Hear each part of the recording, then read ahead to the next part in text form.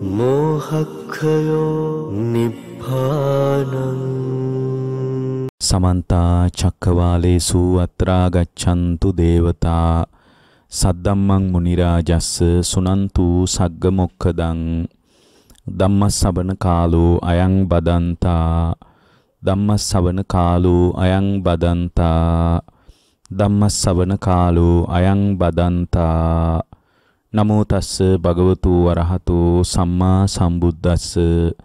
නමෝ තස්ස භගවතු වරහතු සම්මා සම්බුද්දස්ස. නමෝ තස්ස භගවතු වරහතු සම්මා සම්බුද්දස්ස.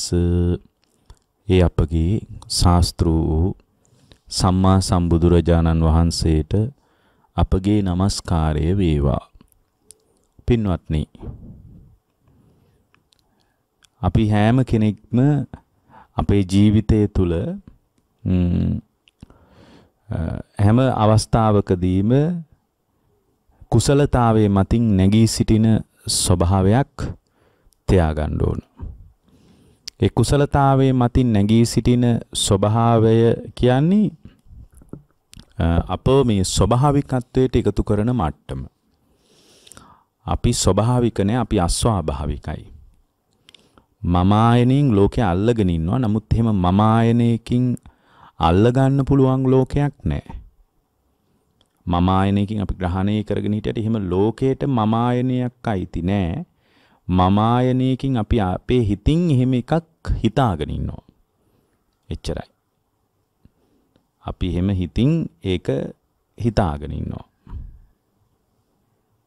එතකොට ඒ ස්වභාවය අපි අපිට අවබෝධ කරගන්න පුළුවන් වුණොත් අපිට මේ ධර්මී දියුණුව කරා අපට යන්න අවකාශය ලැබෙනවා. එතකොට මේ මේ ධර්මය කියලා කියන්නේ බොහොම වටිනා දෙයක්. ඒ වටිනා ධර්මය තුල පින්වත්නි අපි එකතු වුණොත් අපිව ගොඩ නැගුණොත් අපට නැගී සිටින්න පුළුවන් වුණොත් අපට ඒ ධර්මයේ මිත්‍රශීලී ස්වභාවයකින් පිළිගන්න පුළුවන් වුණොත් ඒක අර ස්වභාව ධර්මයේ රිද්මයට එකතු වීමක් කියලායි මන්නම් කියන්නේ. දැන් වහින්න කලින් වේගෙන් හුලං හමනවා. වලාව පාත් වෙන්න කලින් වේගෙන් හුලං හමනවා. එතකොට ඒ හුළඟ හමන එකකින් අපිට කියවෙන්නේ මේ ස්වභාව ධර්මයේ අපිට දක්වන මිත්‍රශීලී භාවයයි. මොකක්ද මේ මිත්‍රශීලී ප්‍රතිචාරය? දැන් වහින්න ලෑස්ති ඉක්මනින් ඉක්මනින් ඔය තියෙන දේවල් අකුලලා වැස්සට මේඝය කඩාගෙන වැටෙන අවස්ථාවට ලෑස්ති වෙන්න කියන ඉඟිය. ඒක මේ ස්වභාව ධර්මයේ කතාව. ස්වභාව ධර්මයේ රිද්මය. ඒතකොට මේ ධර්මයත් අපට අර කල්යාණ මිත්‍රත්වයේ හරහා සුතමේ ඥානයේ හරහා මිත්‍රශීලීව අවදානම පෙන්නලා දෙන බවක් අපට පේන්න තියෙනවා. ඒක අර ස්වභාව ධර්මී කතාවයි මේකයි දෙකම එකක්. ස්වභාව ධර්මී කතාවමයි මෙතන මතුවෙන්නේ. වෙන මොකක්වත් නෙමෙයි. එතකොට ඒ ස්වභාව ධර්මයේ විසින් පෙන්වා දෙන කතාවම ධර්මයේ ඇතුළේ අපිට දකින්න පුළුවන් නම් එතකොට මේ ධර්මයේ ඇතුලින් අපිට කතාව දකින්න පුළුවන් නම් මේ සියල්ලට වඩා ස්තරම්ම දේ ධර්මයේ හැටියටයි අපිට වැටහෙන්නේ. සියල්ලට වඩා අගේ කර අගේ කටයුතු දෙයක් හැටියටයි අපිට ධර්මයේ වැටහෙන්නේ. දැන් හොඳට බලන්න ගහක් රූස්ස ගහක් විශාල රූස්ස ගහක් ඒ රූස්ස ගහ අතුපතර විහිදිලා තියෙනවා නම් ඒ ගහ යටට යන ඕනෑම කෙනෙකුට ඒ ගස සෙවණ ලබා දෙන්න ලෑස්ති. ඒ ගස සෙවණ ලබා දෙන්න ලෑස්ති. එතකොට ඒ ගස ගස තුල තියෙනවා ඕනෑම පුද්ගලයෙක් කෙරෙහි දක්වන ඉතා කාරුණික මිත්‍රශීලී භාවයක්. ඒක ස්වභාව ධර්මී රිද්මය. ස්වභාව ධර්මී කතාව. දැන් ගහ යටට යන මිත්‍රයෙක් එයාගේ ඇතුළාන්තේ මොන වගේ හැඟීම් තිබුණත් ඊටාම දේශ සහගත හැඟීම් තිබුණත් මිත්‍රශීලී හැඟීම් තිබුණත් ඕනෑම කෙනෙක් ග්‍රීස්මයේ වැඩි වෙලාවට ඒ ගහ යටට ගියාම ඒ ගහ සෙවන දෙනවා. ඒ ගහ සෙවන දෙනවා. වේගින් වහින වෙලාවක ගහක් යටට ගියාම ඒ රුස්ස වැස්සෙන් රැකවරණයක් හම්බ වෙනවා.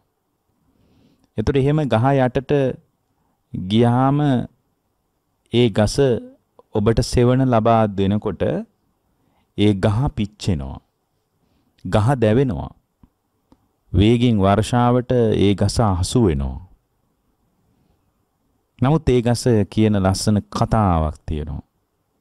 ගහ ඇතුලේ ලස්සන පාඩමක් තියෙනවා. මම අදත් ඔබට හෙවණ දෙනවා. හෙටත් මේ ගහ ළඟට ඔබ ආවොත් මම හෙටත් ඔබට සෙවණ ලබා දෙනවා. හෙටත් සෙවණ දෙනවා. ඊයේ ඊයේත් ආව අද එන්න එපා කියලා ගහ කවදාවත් ඔබ ප්‍රතික්ෂේප කරන්නේ. හැබැයි ගහ සෙවණ ලබා දීම ඇතුලේ ගස මොනතරම් අපහසුතාවලට පත් වෙනවද?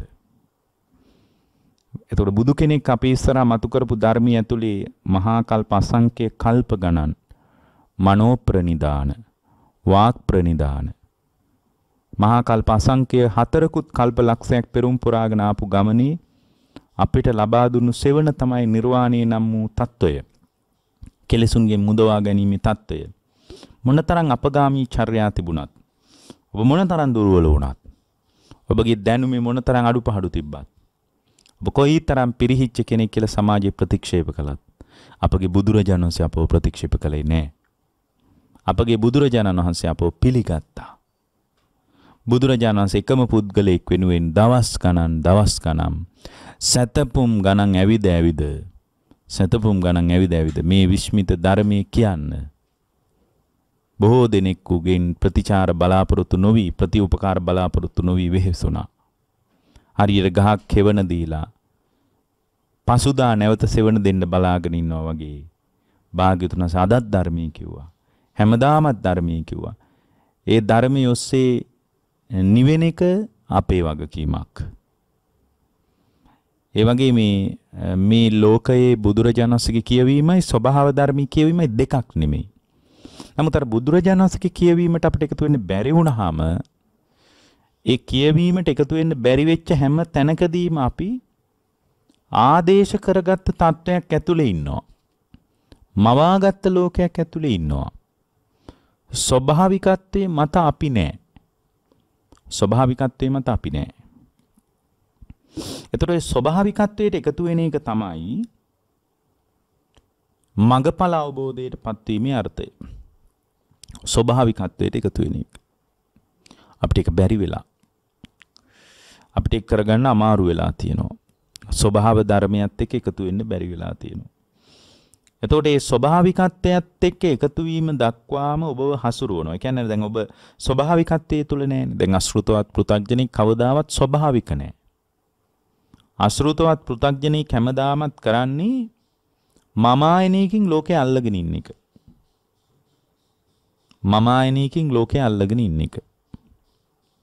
එතර මම ආයනයකින් ලෝකේ අල්ලගෙන ඉන්න තැනක අපිට පවතින්නේ අනාරක්ෂිතකමක්. මම මගේ කියලා මම හිතාගෙන ඉන්නවා. එහෙම ලෝකෙට එහෙම එකක් අයිති නෑ. මේක මගේ, මේක මම, මේක මට අයිති දෙය කියලා පරිබාහිර ලෝකයත් අභ්‍යන්තර ලෝකයත් මම ආයනයකින් අල්ලගෙන ඉන්නා කමක් තියෙනවා. එතකොට මේ මම ආයනයකින් අල්ලගෙන ඉන්න කම නිසාම අපට විඩාවක් පීඩාවක් කනස්සල්ලක් තියෙනවා. එතකොට මේ මම ආයනයකින් ලෝකේ අල්ලගෙන ඉන්න තැනක ස්වභාවිකත්වයකට එකතු වෙන්න පුළුවන් කමක් නැහැ. එතකොට ඒ ස්වභාවිකත්වයට අපි එකතු වුණොත් ආත්ම දෘෂ්ටිය කැඩිච්ච දවසට තමයි අපට ස්වභාවිකත්වයත් එක්ක එකතු වෙන්න පුළුවන් වෙන්නේ. ඒ නිසා පින්වත්නි අපි දක්ෂ වෙන්න ඕන අර බුදුරජාණන් වහන්සේ වදාළ විදියට අභ්‍යන්තරය විමසාගෙන නිවීම දක්වාම අපි ඇතුළාන්තය වෙනස් කරගන්න අපි දක්ෂ වෙන්න ඕන. දැන් භාගතුන් වහන්සේ ආනන්ද ස්වාමීන් වහන්සේට එක තැනක වදාලා ආනන්ද යම් අයුරකින් පසුතැවිල්ලක් නැත්නම් ඒක තමයි ආනන්ද යහපත් කියනවා. පසුතැවිල්ලක් නැත්තම් යහපත්. එතකොට පසුතැවිල්ලක් දැන් අපේ හිත හැම වෙලාවෙම පසුතැවෙන්නේ නැද්ද? අපරාධ ඒකේ විදියට කරන්න තිබුණා. ඒක මේ විදියට කරන්න තිබුණා. කියලා පසුතැවිල්ලක් තියෙනවා. එතකොට මේ පසුතැවිල්ල කියන එක යහපත් දෙයක් නෙමෙයි. ඒ පසුතැවිල්ල කියන එක යහපත් දෙයක් නෙමෙයි. භාගතුන් වහන්සේ මතක් කළා මහණෙනි ආනන්ද මේ පසුතැවිල්ලක් නැති නම් ඒකෙන් ලැබෙන ආනිසංසය තමයි කුසල් සිත කියනවා. ඒ කියන්නේ පසුතැවිල්ලක් නැති තැනක ලැබෙන ආනිසංසය ඒකින් පසුතැවිලක් නැතික මේ ආනිසංසයෙන් ලැබෙන දේ තමයි කුසල් සිත. අර පසුතැවිල්ල තියෙන තැනක හැම වෙලාවකම විතර්ක ਵਿਚාර අකුසල් මත ගොඩ නැගෙනවා. විතර්ක ਵਿਚාර අකුසල් මත ගොඩ නැගෙනවා. එතකොට අර පසුතැවිල්ල තමයි අකුසල් කුසල් සිත වනසන්නේ. පසුතැවිල්ල. යම් වෙලාවක කුසල් සිතක් තියෙනවා නම් ඒ කුසල් සුතෙන් ලැබෙන ආනිසංසය තමයි භාග්‍යතුන් වහන්සේ මතක් කරනවා ප්‍රමුදිත බව. ප්‍රමුදිත බව. ඒක හරි යහපත් දෙයක් වෙනවා. ප්‍රමුදිත බව නම් වූ ආනිසංසය ලැබෙන ආනිසංසයෙන් ලැබෙන තත්ත්වයක් තමයි පසුතැවිලි නැතිකම. පසුතැවිලි නැතිකම. එන හිත ප්‍රමුදිත කරගන්නයි අපි අවශ්‍ය වෙන්නේ. පාමොජ්ජය. ඒ කියන්නේ ප්‍රිය මේ කුසල් සිත මත ප්‍රමුදිත භාවයක් හදා ගන්නවා. කුසල් සිත මත ඊටාම ඒක යහපත් විදියට දකින්න පටන් ගන්නවා. ඒ දකින්න පටන් ගත්ත ගමන්ම අර පසුතැවිලි සහිතව පිරිහිච්ච ගතියක් අපේ ඇතුලේ තිබ්බනම් ඒක කඩා වැටෙන්න පටන් ගන්නවා. ඊට පස්සේ බුදුරජාණන් මතක් කරනවා ප්‍රීතිය නම් වූ යහපත් ස්වභාවයෙන් ලැබෙන තත්ත්වයක් තමයි කියනවා ප්‍රමුදිත බව.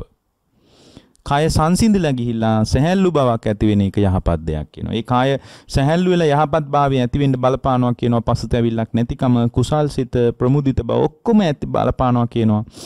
ඒ ප්‍රමුදිත භාවය මතුවෙච්ච තැනක කාය කාය පසද්දිය මතුවෙනවා කියනවා. ඒ කාය පස්සද්ධිය මතුවෙච්ච තැනක තමයි ලෝකේ සැබෑම ප්‍රීතිය මතුවෙන්නේ කියනවා. ඒ සැබෑම ප්‍රීතිය මතුවෙච්ච තැනක තමයි හිත හොඳට සමාහිත කරගන්න අවකාශය ලැබෙන්නේ කියනවා. සමාහිත ස්වභාවයක් ඇති වෙච්ච තැනක තමයි භාග්‍යතුන් වහන්සේ අපට අනුදැන වදාලා. සමාහිත ස්වභාවයක් ඇති වෙච්ච තැනක තමයි ලෝකේ සැබෑවටම සිත එකඟ වෙන්නේ කියනවා. එකඟ වෙච්ච සිතක් එයාට මුණ ගැහෙන්නේ. සැබෑවටම එකඟ වෙච්ච සිතක් යම් පුද්ගලයෙක් තුල තියෙනවා නම් ඒ එකඟ වෙච්ච සිතක් තියෙන තැනක තමයි භාග්‍යවතුන් වහන්සේ අපට අනුදැන වදාලා එකඟ වෙච්ච සිතක් තියෙන තැනක තමයි ඒ පුද්ගලයාට අවබෝධයෙන් ලෝකේ දකින්න පුළුවන් වෙන්නේ අවබෝධයෙන් ලෝකේ දකින්න පුළුවන් වෙන්නේ එතකොට අවබෝධයෙන් ලෝකෙ දකින්න නැත්නම් ලෝකය ගැන නොඇල්මක් හටගන්නේ ලෝකය ගැන ඇල්මක් හටගන්නේ පුද්ගලයා තුළ අවබෝධය ගොඩනැගෙන්න ගොඩනැගෙන්න තමයි පින්වත්නි. ඒ කියන්නේ අවබෝධය ගොඩනැගෙන්න ගොඩනැගෙන්න තමයි ලෝකේ ගැන නොඇල්මක් හටගන්නේ. ලෝකේට ඇල්මක්මයි නැත්තම් හටගන්නේ. ඇල්ම කියන එක ලෝකේට අයිති දෙයක් නෙමෙයි. ඇල්ම කියන එක හිතට අයිති දෙයක්. සිතින් ඇලෙන්න පුළුවන් ලෝකයක් හැටියට ලෝකේ වැටෙන්නේ අවබෝධයක් නැතිකම නිසායි. එතකොට අන්නේ අවබෝධයයි අපි හදාගන්නවා. එතකොට තමයි අර ලෝක ස්වභාවයට එකතු වෙන්නේ. ලෝකෙන් කවුරු මොකක්වත් බලාපොරොත්තුවක් නැහැ ලෝකෙන්. ලොකින් බලාපොරොත්තුවක් නෑ. එතොට ලෝකින් යාගෙන් දෙයක් බලාපොරොත්තු වුණාට ලෝකයාගෙන් යා බලාපොරොත්තුවක් නෑ. හරියට ගහක් වගේ අර ඉස්සෙල්ලා කියාපු. ගහක් කෙවන ලබා දීලා හෙටත් ඔබ මා කෙරෙහි ආවොත් මම හෙටත් ඔබට සෙවන ලබා දෙනවා කියන තැනක තමයි ගහ පවතින්නේ. පළ දැරුවට පස්සේ පළ දරන්න දරන්න ඒ අතු පාත් වෙවි පාත් වෙවි කියන්නේ මොකද්ද? මින්න පළ කඩා ගන්න වගේ අදහසක්. පළ දරන්න දරන්න ඒ අතු වලින් පළ ටික දැරෙන්න දැරෙන්න ගහේ අතු ටික පාත් වෙලා කියන්නේ ඔබ ළඟට ලං වෙලා අතු ටික කියන්නේ මෙන්න පළ දරලා තිනවා ප්‍රයෝජනෙ ගන්න කියලා. හැබැයි ගහ කවදාවත් ප්‍රතිඋපකාරයක් බලාපොරොත්තු වෙන්නේ නැහැ. ඒක තමයි ස්වභාවිකත්වය. ධර්මයේ තුල දියුණුවක් කරා යනකොට ධර්මයේ තුල නැගී හිටීමක් ඇති වෙනකොට ඒ ස්වභාවිකත්වයට තමයි එකතු වෙන්නේ. අර මම ආයනය කියන්නේ ස්වභාවික මට්ටම නෙමෙයි. මම ආයනය කියන්නේ අස්වාභාවික මට්ටමක්. ආත්ම දෘෂ්ටිය පදනම් කරගෙන ලෝකේ පිළිපදිනවා කියලා කියන්නේ ධර්ම ස්වභාවය නෙමෙයි. ඒක පුද්ගල ස්වභාවයක්, ඒක ලෝක ස්වභාවයක්, ලෝකයෙන් ඊතර වෙන ස්වභාවයක් නෙමෙයි. එතකොට ලෝකයෙන් ඊතර වෙන ස්වභාවය කියන්නේ අර පුද්ගලයා තුළ ඇති වෙන අවබෝධය.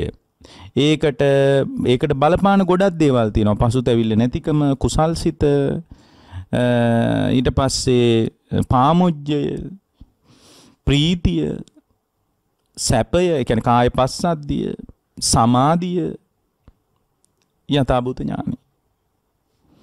එතකොට අන්න ඒ විදියට ලෝකයේ දකිනකොට ඒ පුද්ගලයා තුළ යථාර්ථ අවබෝධය මතුවෙන්නේ හරියට මේ වගේ. දැන් බුදුරජාණන් මතක් කරනවා පින්වත් මහණෙනි තේලංච පටිච්ච වට්ටිංච පටිච්ච තේලප්පදීපෝ ඥායෙය්‍ය පින්වත් මහණෙනි මෙන්න මේ වගේ දෙයක් වෙනවා කියනවා.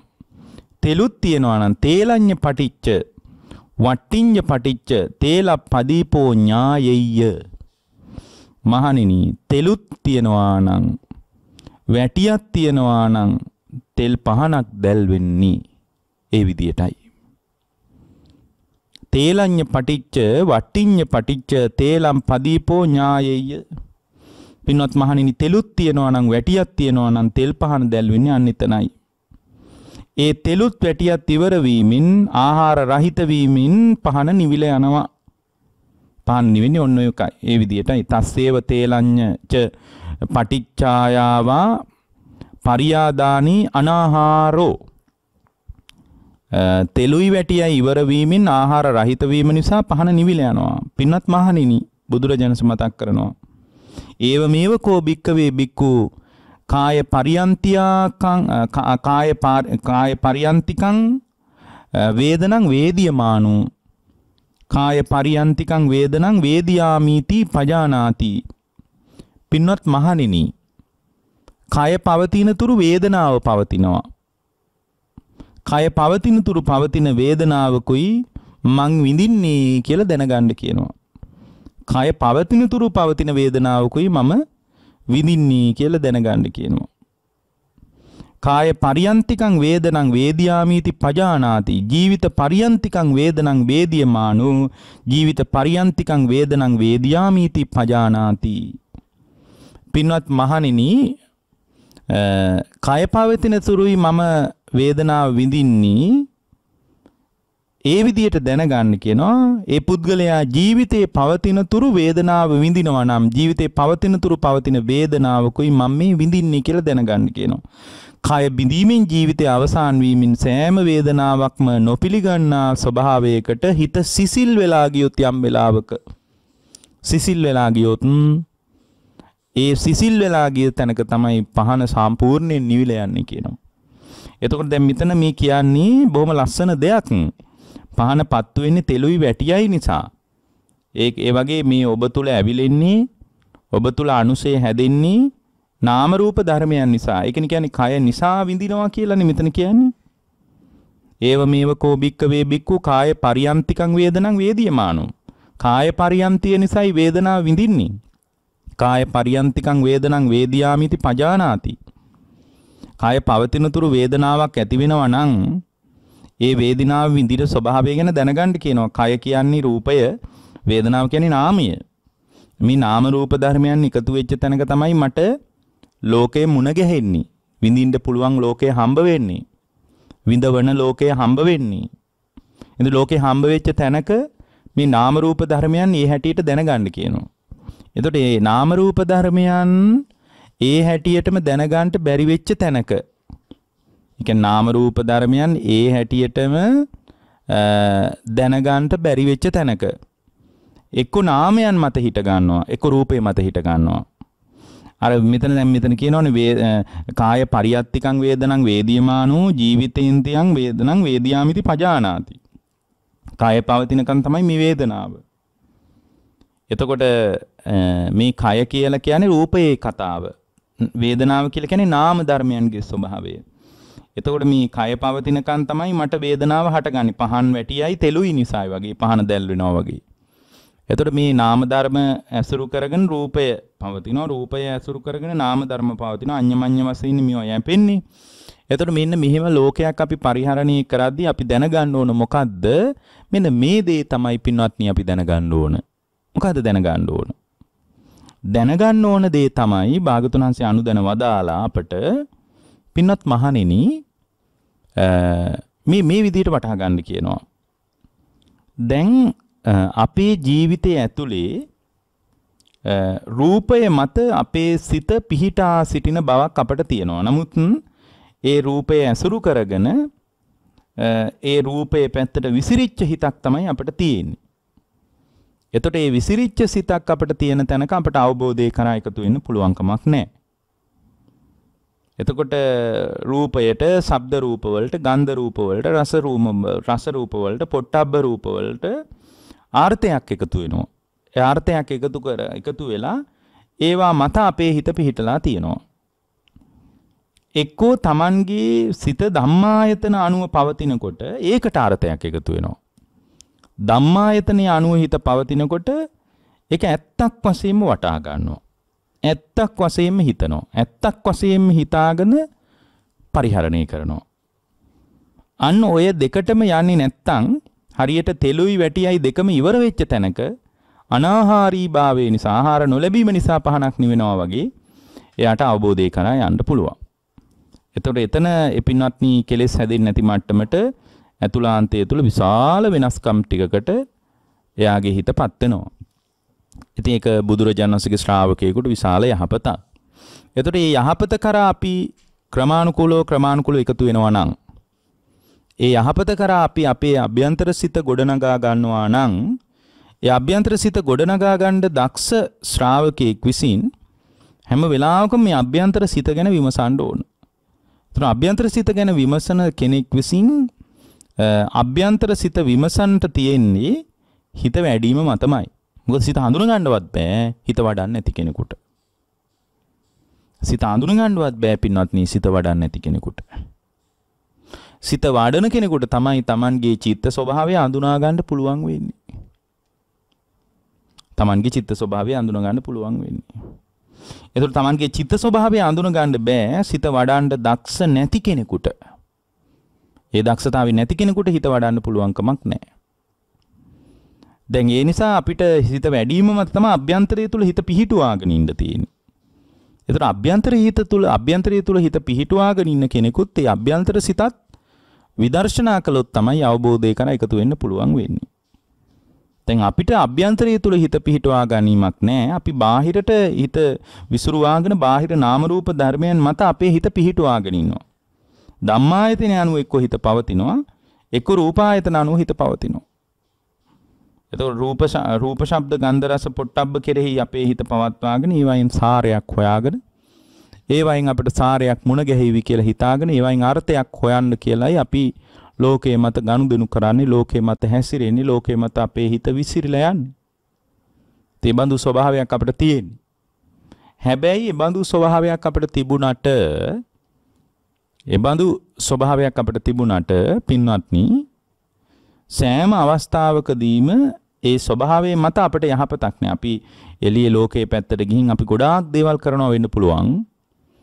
විශාල විශාල පින්කම් අරව මේවා මෙහි කියන ඒවා කරනවා වෙන්න පුළුවන් අපිට ඒකින් ලොකු යහපතක් නෑ ඉදිනදා භවයේ වඩා සෝදායක තත්වයක් වෙනුවෙන් අපිට ඒවා උපකාරාර්ථයෙන් බොහොම වැදගත් වෙනවා ඒ සුවදායක මට්ටමත් යම්තාක් දුරට ධර්මාවබෝධයට පිළිසරණක් පිණිස පවතින දෙයක්. දැන් මේ බණ ටික ඔබට ඇහෙනවා නම් ඔබ මේ සුවබර ජීවිතය උදව් වෙලා තියෙනවා.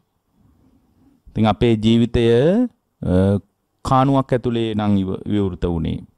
අපේ ජීවිතයේ මනුස්ස ලෝකේ වුණත් බෝක්කුවක් යට නම් අපේ ජීවිත කතාව ලියවිලා තියෙන්නේ. මේ මනුස්ස ජීවිතයේ ඇතුලේ පවා අපට අපේ ජීවිතේ විවෘත වෙලා තියෙන්නේ අපේ ජීවිතේ විවෘත වෙලා තියෙන්නේ මිත්‍යා දෘශ්‍යික ස්වභාවයක් මත නම්. ඉතින් අපිට පින්වත්නි මේ බඳු ධර්මයක උපකාරයක් ගන්න බෑ. ඒ නිසා මෙදිනදා ගුණ ධර්ම ඇතුලේ අර ඊතා ඉහළ ආචාර ධර්ම මිත්‍රශීලීව එකිනෙකනා වෙනුවෙන් කරන ආචාර ගෝචර සම්පන්නකම් කුසලතාවයන් හොඳයි. ඒවා ඊ타ම නරක තත්වයන් විදියට බුදුරජාණන් වහන්සේගේ දේශනාව පැහැදිලි කරන්නේ නැහැ. ඒවා හොඳයි. ඒවා නරක නෑ. හැබැයි ඒවා එහෙම වුණාට ඒවා ඒ විදිහට අපි කතා කළාට පින්වත්නි බුදුරජාණන් වහන්සේ අපට වදාලා මේ අභ්‍යන්තර සිත ගැන සංවේදී වෙන්න කියලා. එතකොට අභ්‍යන්තර සිත ගැන ඇති වෙන සංවේදීභාවය කියලා කියන්නේ හිත පුහුණු කරන මට්ටම. එතකොට හිත පුහුණු කරන මට්ටමට එනකොට අර බාහිර නාම රූප ධර්මයන් මත හිත එළඹාගෙන සිටින ගතියක් එයා තුළ ඇත්තේ නෑ පින්වත්නි. එතකොට ඒ බඳු ගතියක් නැත්තේ හිත වඩන කෙනෙක් තුල හිත පුහුණු කරන කෙනෙක් තුලයි. හැබැයි එහෙම හිත පුහුණු කරගෙන යද්දිත් මේ හිතේ ස්වභාවය අර ඇතුළාන්තයේ මතම හිත පිහිටාගෙන ඉන්න ගතියක් මතුවෙන්න පුළුවන්. ඒකට බුද්ධ දේශනාවේ තියෙනවා අජ්ජත්තං චිත්තං සම්ටි තන්ති උච්චති කියලා. එතකොට එයාගේ අභ්‍යන්තර හිත පිහිටලා තියෙනවා. අභ්‍යන්තරේ මත හිත පිහිටලා තියෙනවා. ඒක බාහිරට අර බාහිර නාම රූප ධර්මයන් මත හිත පිහිටලා තිනවට වඩා වටිනවා. එතකොට බාහිර ලෝකය ගැන කල්පනා කරන කමක් සහ ඒ කල්පනා කරන එක බාහිර ලෝකයේ යථාර්ථයක් හැටියට ඔබේ හිත පිළි අරගෙන ඉන්නවනම් නාම ධර්ම අනුව ගිය හිතක් ඔබට තියෙන්නේ. අර ධම්මායතනේ අනුවයි හිත පවතින්නේ. කල්පනා කරන ලෝකය යථාර්ථයක් කියලා යාට වැටහෙනවා. එතකොට මේ කල්පනා කරන ලෝකයේ යථාර්ථයක් කියලා වැටහෙන තාක්කල් ඒ කල්පනා කරන ලෝකේ යථාර්ථයක් කරගන්නයි යා මහන්සි වෙන්නේ. එතකොට ඒ ඒ වගේම අර බාහිර ලෝකයේ කෙරේ අත්දකින්න රූපයේ කෙරේ වටිනාකමක්ම පේනවා. ඒ අත්දැකීම තුලමයි ඒක තියෙන්නේ. කල්පනා කිරීම තුල නෙමෙයි. අත්දැකීම තුලම අගයක් සාරයක් වටිනාකමක් යථාර්ථයක් තියෙනවා යයි එයා කල්පනා කර කර ඒවා හිතාගෙන ඉන්නවා. ඉතින් ඔන්න ඔය කල්පනාවෙන් අයින් වෙච්ච තැනක අපට වෙන්නේ අභ්‍යන්තරය තුල හිත වැඩිීමේ ක්‍රියාවලියකට එකතු වෙන්න. මොකද බුදුරජාණන් වහන්සේ අපට ස්ථිරව හිත වැඩිවීමක් සම්බන්ධව පැහැදිලි කළා. එතකොට අජ්ජත්තං චිත්තං සම්ටිතන්ති උච්චති. අභ්‍යන්තරයේ තුලයි යාගේ හිත පිහිටලා තියෙන්නේ. එතකොට මේ අභ්‍යන්තරයේ හිත තුල හිත පිහිටලා තියෙනවා කියන මට්ටම ගොඩාක් බුද්ධ ශ්‍රාවකයන් තුල දකින්න ලැබෙන්නේ ඇයි ඒක සම්පූර්ණයෙන් හිත වැඩිීමේ අත්දැකීමක්. හිත දියුණු කිරීමේ අත්දැකීමක්.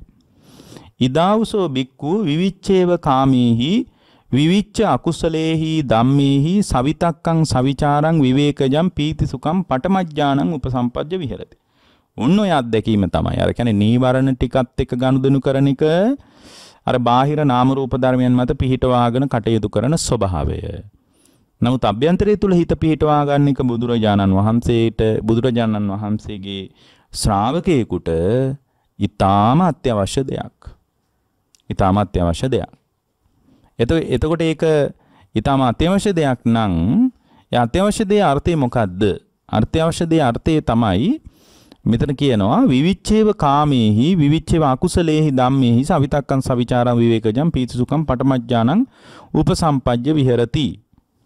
එතකොට එයාගේ සිත කාමයන්ගෙන් වෙන් වෙලා අකුසල් වලින් වෙන් වෙලා විතර්ක ਵਿਚාර සහිත ප්‍රීතිය හා සැපේ ඇති පළවෙනි ධානය ලබාගෙන වාසය කරනවා.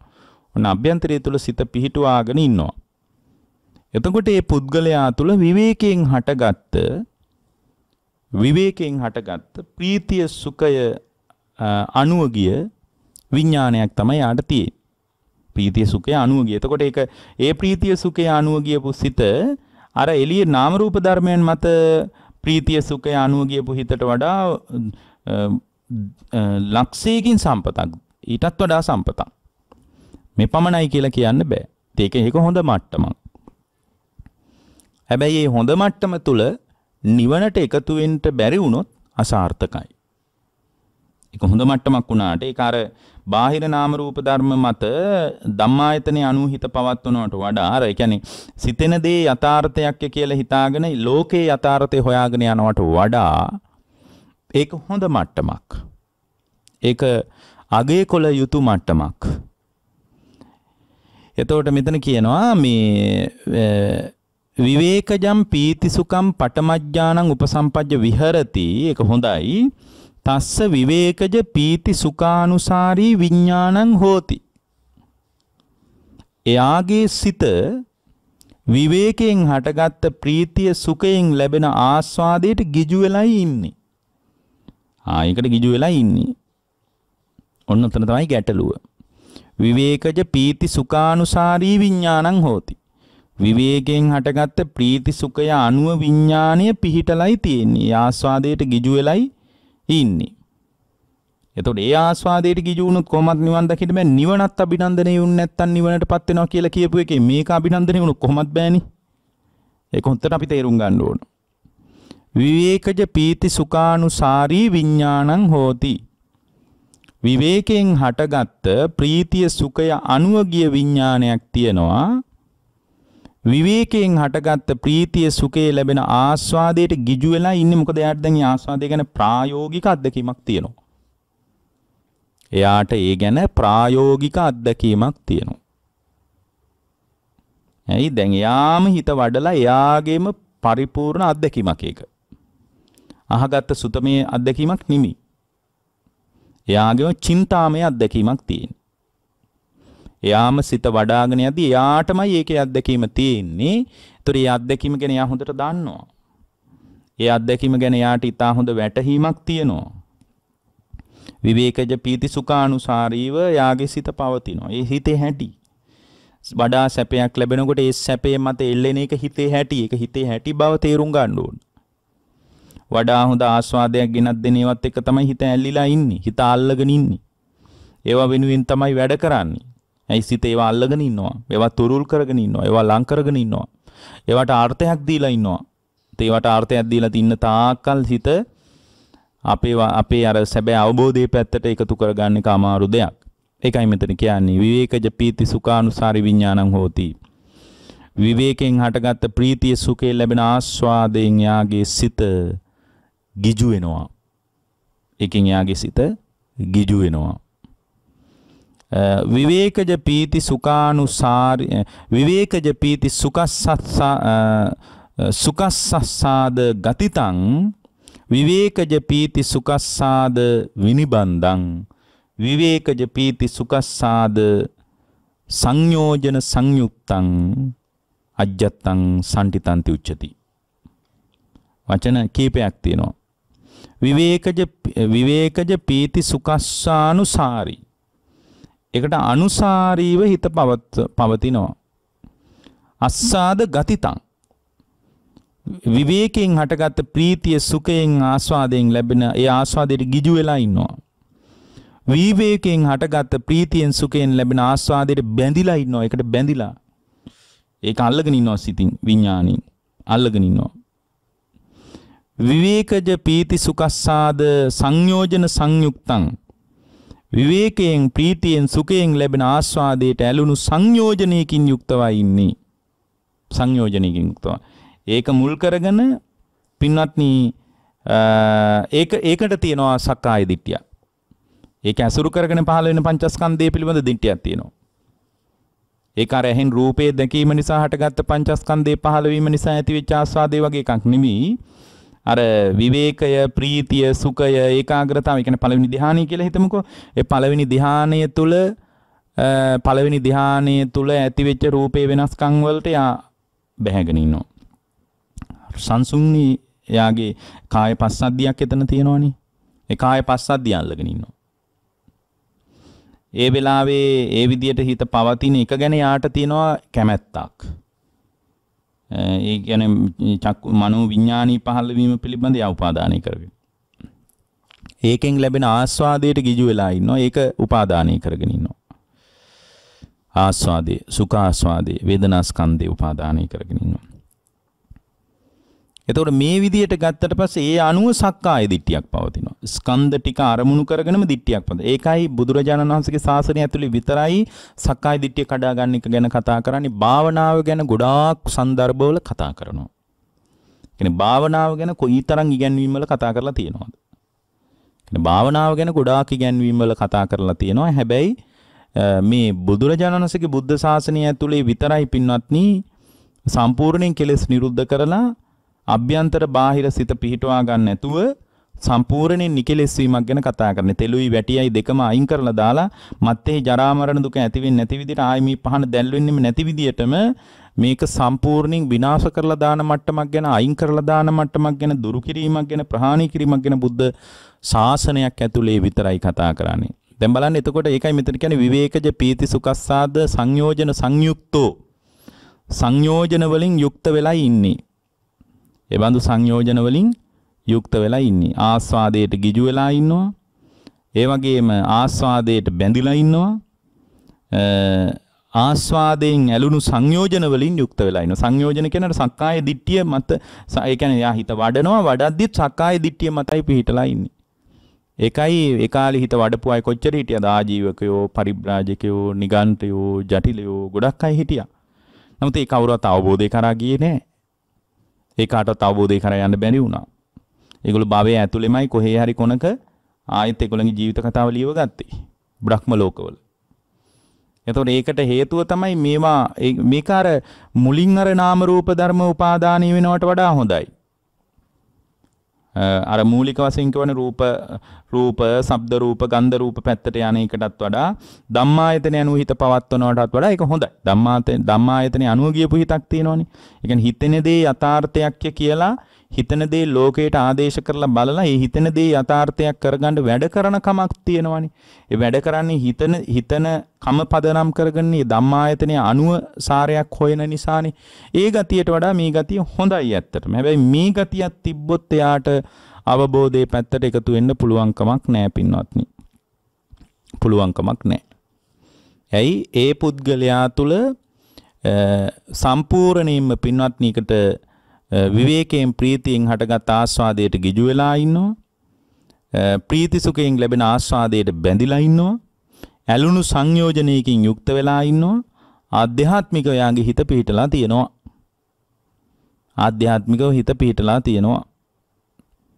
එතකොට දැන් ආධ්‍යාත්මිකව හිත පිහිටලා නැහැ කියන්නේ මොකක් මතද? ආධ්‍යාත්මිකව හිත පිහිටලා නැහැ කියලා කියන්නේ පින්නත්නි අර යම් වෙලාවක කාමයන්ගෙන් වෙන් වෙලා අකුසල් ධර්මයන්ගෙන් වෙන් වෙලා කාමයන් අකුසල් මොකුත් නැහැ විතර්ක ਵਿਚාර සහිත ප්‍රීතිය සැපේ ඇති පළවෙනි ධානයේ ලබාගෙන එයා වාසය කරනවා. වාසය කරනවා. නමුත් ඒ පුද්ගලයා තුළ විවේකයෙන් හටගත්ත ප්‍රීති සුඛය අනුව ගියපු විඥානයක් නැහැ. ඒ අනුව හිත පවති විඥානය ඒ අනුව හිත පවත්තන්නේ එතකොට දැන් ඔබට විවේකයෙන් ප්‍රීතියක් ඇති වෙනකොට සැපයක් ඇති වෙනකොට ඒ සැපේ මේ සැපය කියන එක ධානයේට අයිති දෙයක් කියලා මේ විඥානයේ සැපයයි ධානයයි දෙක එකට එක එක මිටට බැඳ ගන්නවා. සැපයයි සැපේ ගෙනාපු ධානයක් තියනවා කියලා ධානයයි සැපයයි එකට අල්ල ගන්නවා. එතකොට තමයි ඔය මේ භවය නැවත නැවත රූප ලෝකයේ පැනවෙන්නේ. බ්‍රහ්ම ලෝකේ පැනවෙන්නේ. එතකොට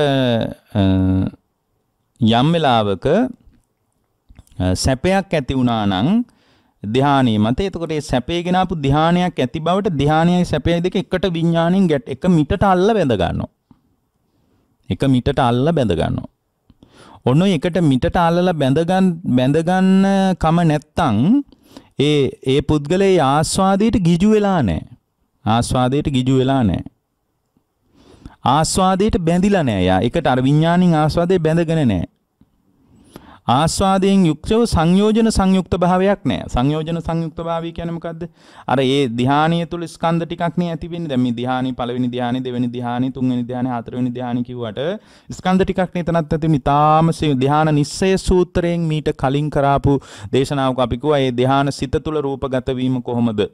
වේදනාගත වීම කොහොමද? සංඥාගත වීම කොහොමද? සංස්කාරගත වීම කොහොමද? විඥානගත වීම කොහොමද? කියලා ඒක දකින්නේ කොහොමද කියලා අපි මීට කලින් පැහැදිලි කළා. එතකොට ඒ ඒ වගේ මෙයා මේ පුද්ගලයා තුළ ස්කන්ධ ගතවීම ආරම්භය ස්කන්ධයන් ටික ස්කන්ධයන් ටික අල්ලගෙන නැහැ. ආ ඒ ස්කන්ධයන් ටික අල්ලගෙන නැහැ කියලා කියන්නේ අර සංයෝජන සංයුක්ත භාවයක් නැහැ. සංයෝජනීයට තල්ලුවක් හම්බෙන්නේ නැහැ.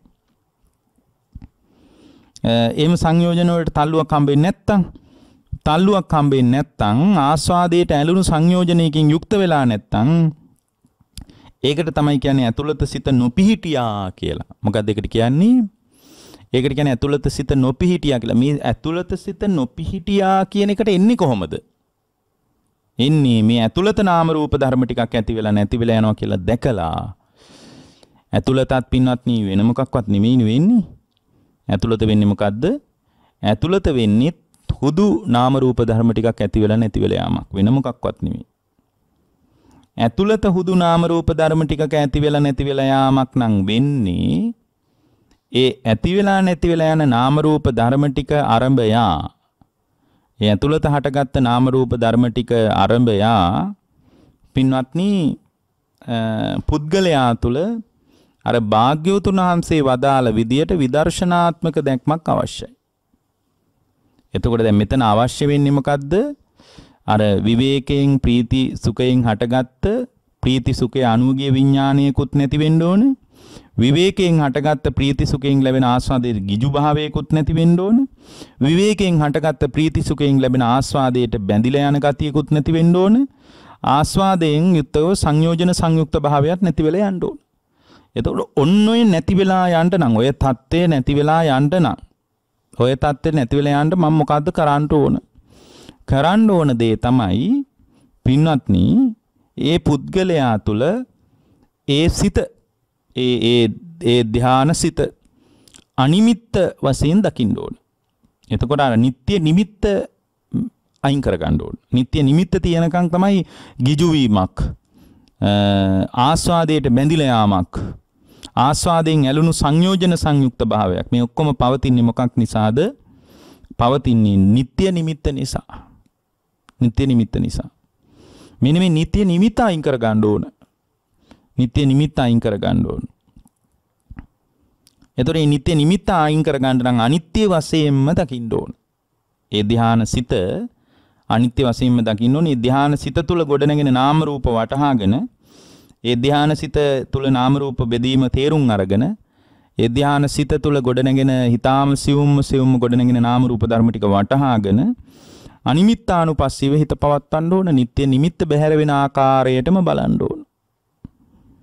එතකොට මේ අර කලින් මේ බාහිරට නාම රූප ධර්මයන්ට විසිරීම මත ඒ කියන්නේ රූප, ශබ්ද ආයතන, ගන්ධ ආයතන ඒවා පැත්තට රූපය, ශබ්ද රූප, ගන්ධ රූප, රස රූප, පොට්ටබ්බ රූප ආදී වශයෙන් ඒ රූප ස්වභාවය මත හිත පිහිටවාගෙන ඉඳීමත් එහෙමත් නැත්නම් අර ධම්මායතනෙ මත හිත පැවැත්වීමත්. ඒ කියන්නේ හිතෙන දේ යථාර්ථයක් හිතන දේ ඇත්තක් කියලා එහෙම ඇත්ත ලෝකයක් හොයාගෙන යන කමක් යන කමක් තිබ්බනම් ඒක සුබ වශයෙන් දකින්නකම අයින් කර ගන්නට ඕන. ඒක සුබ ඒ ඒ ඒවා ඒක ප්‍රතික්ෂේප කරලා ඒක ඕන නෑ කියලා හිත වඩන තැනකට ඇති වෙනකොට මෙතනත් සියුම්ම නාම රූප වටහාගෙන ඒ නාම රූප ධර්ම ටික සුබ වශයෙන් ගන්නකම අයින් වෙලා යන්න ඕන. නාම රූප ධර්මකම් නාම රූප ධර්ම ටික සුබ වශයෙන් ගන්නාකම අයින් කරලා දාන්න ඕන. සුබ වශයෙන් දන්නාකම අයින් කරලා දාන්න ඕන. ඒකන අපි කියනවා අප්පනිහිතානුපස්සීව වසනවා කියලා. ඒ ওই සුබ වශයෙන් ගන්න කම කියන එක මහ පුදුම හානියක් පින්වත්නි. ලෝකේම සුබ වශයෙන් වැටහිච්ච නිසා තමයි අදත් මේ සසර කැරකෙන්නේ අපි. සුබ වශයෙන් ගන්න මොකක්වත් නැහැ. සුබ වශයෙන් ගන්න නැති නිසා හිත මැදහත් කරගන්න ඕන. එතකොට මේ මැදහත් සිත අපට නැහැ. ඊළඟට භාගතුන් හංසගේ දේශනාව විදින ශුන්්‍යතානුපස්සිය වසන්න ඕන. එතකොට අර ධානයක් දියුණු කිරීම තුළ හිත වඩාගෙන යාම තුළ ඒ සම්පූර්ණයෙන්ම ඒ ප්‍රීති සුඛයෙන් ලැබෙන ආස්වාදයට ගිජු වෙලා ආස්වාදයට බැඳිලා ආස්වාදයට ඇලිලා සංයෝජන සංයුක්ත භාවයක් හදාගෙන ඒ පිහිටුවාගෙන ඉන්න ස්වභාවය තුල ආත්ම වශයෙන් ගන්න එක අයින් කරලා දාන්න ඕන. ශුන්්‍යතානුපස්සිය බලන්න ඕන. ආත්ම වශයෙන් ගන්න මොනවද මේකේ තියෙන්නේ? මොකක්වත් ආත්ම වශයෙන් ගන්න නැහැ. අබමල් රේණුවක්වත් ආත්ම වශයෙන් ගන්න නැහැ කියලා ඒ දකින්න කම හදා ගන්න ඕන. එතන මම මගේ කියලා ගන්න දෙයක් නැහැ මේකත් ඇති වෙලා නැති වෙලා යනවා මේක කොයිතරම් මනාප තත්වයක් වුණත් ඒක මගේ වසඟේ පවත්වන්න පුළුවන් තත්වයක් නෙමෙයි කියලා දකින්න කම ඔබට තියෙන්න ඕන. ඒක හරිම වැදගත් දෙයක්. එතකොට මේ ඇතුළතයි දැන් මේ විදර්ශනා කරන්නේ. බාහිර ලෝකේ නෙමෙයි. මොකද ඇතුළාන්තේ විදර්ශනා කරගන්න බැරි වුණොත් ආයෙත් සසරටම තමයි වැටෙන්නේ. වඩා හොඳ තැනකට යන්න පුළුවන්. නමුත් සංසාරෙටමයි ආයෙ වැටෙන්නේ. සංසාරයට වැටුණොත් වඩා හොඳ තැන් කියලා එකක් නැහැ. භවය කොහොමත් දුකක්. නැවත නැවත ස්කන්ධ ටික පහළ වෙනවා නම් ඒක දුකක්. වෙන මොකක්වත් නෙවෙයි. යථාභූත ඥාන දර්ශනීන් බලනකොට සංමෝභා බිනිවේසේ යථාභූත ඥාන දර්ශනීන් බලනවා. අභිනිවෙස් කරගෙන හිටියනම් ඒක අයින් වෙලා යථාභූත ඥාන දර්ශනයෙන් බලනකොට මේවා තුල ස්කන්ධ ටිකක්ම ඇති වෙලා නැති වෙලා යාමක් මේකෙත් මොනවත්ම සාරයක් ගන්න නැහැ. මොකක්වත්ම සාරයක් කියලා ගන්න නැහැ. කොහෙවත්ම නැහැ සාරයක් කියලා ගන්න කියලා ඒක අතහැරෙන්න පටන් ගන්නවා පින්වත්නි. ක්‍රමානුකූලව ක්‍රමානුකූලව යාට ඒක අතහැරෙන්න පටන් ගන්නවා. ආදීනවානුපස්සීව වඩනකොට ඇලෙන එකක් තිබ්බනම් ආදීනවම බලනවා. මේකත් ඇති වෙලා නැති වෙලා යනවා නම් ඇති වෙච්ච දෙයක් කෙරෙහි මනාප වශයෙන් අල්ලගෙන ඒක නැති වෙලා යනකොට ඒකට දුකමයි හටගන්නේ. ඇති වෙච්ච දෙයක් ස්ථිරසාරයෙන් පිළි අරගෙන ගිජු වෙච්ච ස්වභාවයකින් පිළි අරගෙන බැඳෙන්න පුළුවන් ස්වභාවයකින් පිළි අරගෙන ආස්වාදයෙන් එල්ල සංයෝජන සංයුක්ත භාවයකින්ම හිතිය පිට පිළි අරගෙන ඒ විදිහටම පිළිගත්ත ස්වභාවයකින් ලෝකේ වටහාගෙන ඉන්න තාක්කල් ඒ වටහාගෙන ඉන්න තාක්කල්ම පින්වත්නි එයාට එහෙම ලෝකයක් නෙමෙයි නම් ඒක දුක හට ගන්නවා. යා එහෙම හිතාගෙන හිටියට එහෙම එකක් නෙමෙයිනේ. දැන් ධානී කියන්නේ විස්තිරසාරයෙන් පිළිගන්න පුළුවන් එකක් නෙමෙයි. ඒක ධානයේ තුල සමවැදිලා ඉන්න තාක්කල් විතරක් පවතින තත්ත්වයක්. ඒ විදියට දකිනකොට පින්වත්නි ඇලිලා ඉන්නවා නම් ඇලිච්ච එක අයින් වෙලා යනවා. ඇලිලා ඉන්න දෙයක් නැහැ. මේකත් ඇති වෙලා නැති වෙලා යන එක. සමුදයයි නිරෝධයයිම බලනවා. ඇති වෙලා නැති වෙලා යන එකක්. මේකේ මොකක්වත් නෑ. අන්නේ ඇලෙන එක එතකොට අයින් වෙලා යන්න පටන් ගන්නවා. පටිනිස්සග්ගානුපස්සිය බලනකොට පින්වත්නි එයාට මේ ධානයක්වත් උපාදානය කරගන්න තු මේ උපාදානෙන් මිදෙන්න ඕන. භාවනා කරන එක නවත්තන්න නෙමෙයි. එයා කවදාවත් භාවනා කරන එක නවත්තන්නේ නැහැ. මිදෙන්න ඕන. උපාය ඥානෙ උපදිනවා. මේක මිදෙන්න ඕන. මිදීම තියෙන්නේ කොතනද? Nirodhe සාක්ෂාත් කිරීම මත. මිදෙන්න ඕන උපාය ඥානයක් උපදිනවා. අපපටි සංකය. එහෙමත් නැත්නම් අපපටි සංකය කියන්නේ මොකද්ද? අවිද්‍යාව බැහැර වෙලා යනවා. පටිසංඛ්‍යානු දස්සනම් භාවෙන්තෝ අපපටි සංකං පජහති කියලා කියන්නේ. සංස්කාරයන්ගෙන් මිදීමේ උපාය ඥානීය පිළිබඳව කල්පනා කරනකොට අවිද්‍යාව සහගතව නම් හිත වඩන්නවත් ඕනේ අවිද්‍යාව සහගත නම් ලෝකයේ බලන්න නෙමෙයි හිත වැඩිවීමක්වත් ඕනේ හිත වඩාගෙන යන්නවත් ඕනේ කියලා එයාට පින්වත්නි අර ලෝකයේ අතහැරෙන තැනකට යාගේ හිත පෙළඹෙනවා. එහෙම බලනකොට ඒ පුද්ගලයා විවට්ටානුපස්සීවම බලනවා. එතකොට විවට්ටානුපස්සීව බලනකොට කැමැත්ත පදනම් කරගෙන ධානයක් දියුණු කළත් ඒ කැමැත්ත නම් කෙලෙසයක්මයි. කැමැත්ත පදනම් කරගෙන ආස්වාදයට ගිජු වෙලා පළවෙනි ධානයට සමවැදුනත් ආස්වාදයෙන් ගිජු වීම නම් කෙලෙසයක්මයි. පළවෙනි ධානයේ දියුණු කළත් බැඳිලා නම් විනිබන්ධනයක් සහිතව නම් විනිබන්ධනය නම් කෙලෙසයක්මයි. අපි ධානයේ දියුණු කරන්නේ විවේකජ පීති සුකස්සාද විනිබන්ධං විවේකජ පීති සුකස්සාද සංයෝජන සංයුක්ත භාවයක් නැතිනි විවේකජ පීති සුඛානුසාරීව හිත පවත්වනකොට සංයෝජන සංයුක්ත භාවයක් නම් තියෙන සංයෝජන සංයුක්ත භාවය නම් කෙලෙසයක්මයි. විවේකයෙන් ප්‍රීති සුඛයෙන් හටගත පළවෙනි ධානය හොඳ මට්ටමක් වුණාට සංයෝජන සංයුක්ත භාවය නම් කෙලෙසයක්මයි. මෙන්න මේ කෙලෙසේ මං අයින් කරලා දාන්න ඕන. කෙලෙසේ අනුන් කළා දානවා. කෙලස් ප්‍රවෘත්තිය මන් දුරු කරන්න ඕන. මේ කෙලස් ප්‍රවෘත්තිය දුරු කරගන්නේ නැතුව මට කිසිම සහනයක් මට යහපතක් නැහැ කියලා අර කෙලස් ප්‍රවෘත්තිය දුරු කරන තැනකට යාගේ හිත පෙළඹෙනවා. ඒ කියන්නේ පින්වත්නි රූප ලෝකේ අරූප ලෝකේ බ්‍රහ්ම ලෝකේ පැනවෙන්නේ ධානයයි කෙලෙසුයි නිසා. ධානයයි කෙලෙසුයි නිසා. ධාන ආරම්භය කෙලස් පවතින තාක්කල් භවයේ රූප ලෝකේ අරූප ලෝකයාට එයාගේ ජීවිතය විවෘත වෙනවා. සම්පූර්ණයෙන් නිවෙන්නේ ධානසිත ආරම්භයක් කෙලස් ටික කඩා ගත්තොත් ඒ ධානසිතත් එතනත් නාම රූප ධර්මයන් නැති වෙනකොට අනිමිත්තානුපස්සී අප්පනීතානුපස්සී ශුඤ්ඤතානුපස්සී අධිපඤ්ඤා ධම්ම විපස්සනානුසාරී යථාභූත ඥාන දර්ශනානුපස්සී ආදීනවානුපස්සී පටිසංඛ්‍යානු දර්ශනානුපස්සී අවසානට විවට්ටානුපස්සීව බලන කෙනෙක් තුල තමයි සංසාරික පරිදාහය සම්පූර්ණයෙන්ම නිවිලා ගිහින් එයාගේ සිත අමා නිවනට එකතු වෙන්නේ. බඳු එකතුවක් පිණිස තම තමන්ගේ අභ්‍යන්තර දියුණුවන සිත විදර්ශනා කර ගැනීම කුසලතාවය ඔබ හැම දිනාටම උදව් වේවා කියලා